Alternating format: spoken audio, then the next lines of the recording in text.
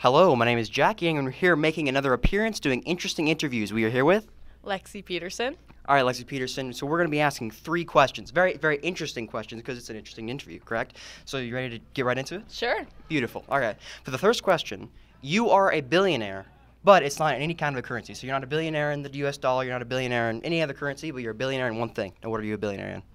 Cats. Cats? You want a billion cats? Yes. That takes crazy cat lady to a whole nother level. I mean, I'll be a crazy cat lady. I'm okay with that. okay, a billion, a billion cats. She's got an answer. I respect it. Okay. So now for the next one, it is. How do you feel about Valentine's Day? Is it overrated, underrated? How do you feel about it?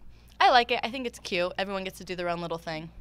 True, true. Thank you. I appreciate that one. All right, so for the third and final question, but this is definitely the most interesting one. What was the best movie in 2022 to come out? Um, the Spider-Man movie where it had all three Spider-Mans. I really liked it. True. Well, now, okay, so what was the best Spider-Man? Who's the best Spider-Man? Tobey Maguire. Ooh. Man, lots of controversial opinions. Crazy cat lady who likes Tobey Maguire. All right. Thank you, guys. It's been interesting interviews.